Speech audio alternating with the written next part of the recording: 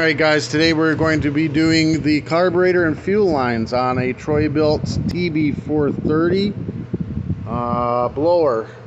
Um, all the parts will be in the description below. Um, carburetor, uh, fuel lines, everything are underneath here. I think it's got everything you'll need to do this job.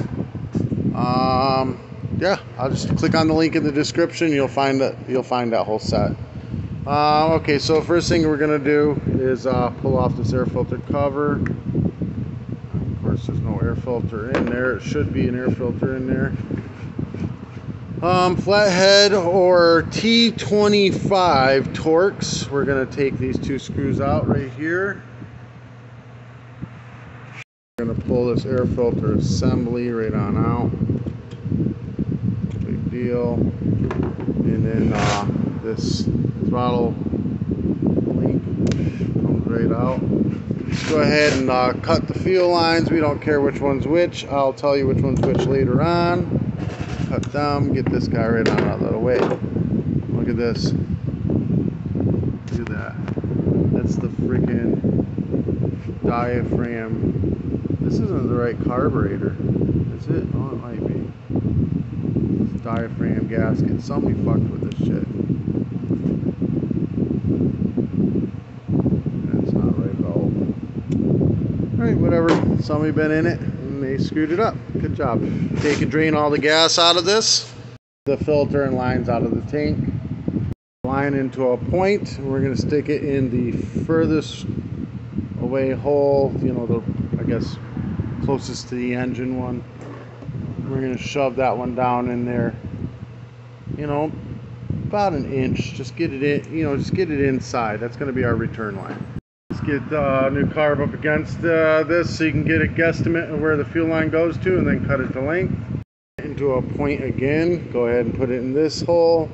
And then this time we're going to go all the way through and we're going to pull it all out the tank, you know, about so far.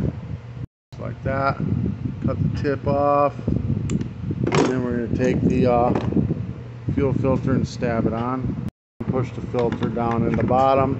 Make sure it gets down in the tank there and it sits in the middle on the on the on the bottom. The long line is going to be the one that's got your filter. We're going to go ahead and hook the throttle on like like that. Right, look, let me show you again. Just get it pushed in and around, boom, like that. Then we're going to put the uh, choke assembly back on, air filter assembly, like this. And we're going to go ahead and tighten it down. So for the fuel lines, the long one's got the filter on it. We're going to go to this one right here with the long one. So we just bring it up to length, cut it, and stab it on. Like that. This one's your return line, which is the shorter line. We're going to bring that around, length, cut it, stab it on good time to figure out if we've got the lines on the right way. We're going to put some gas in the tank and we're going to prime it up. If it doesn't prime up and you see fuel or a foam coming out of your fuel filter back in there, that means you got them backwards. Just switch them around. Makes mine a little rich just so you can see it. See it's pulling it up.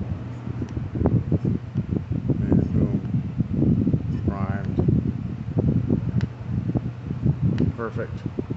All right, gas cap on so we don't spill any in our laps.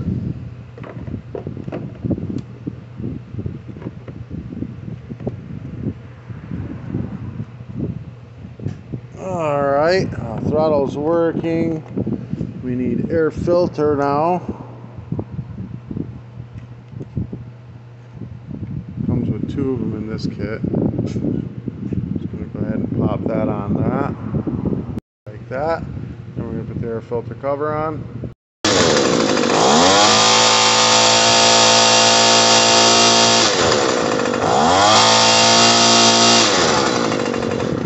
Alright guys, this helped you out in any way, shape, or form. Give me a thumbs up, hit that subscribe button. I'll put the parts in the description below. Just click the link. If you want to do any advertising through my channel, message me. I'll be more than happy to have you. Peace.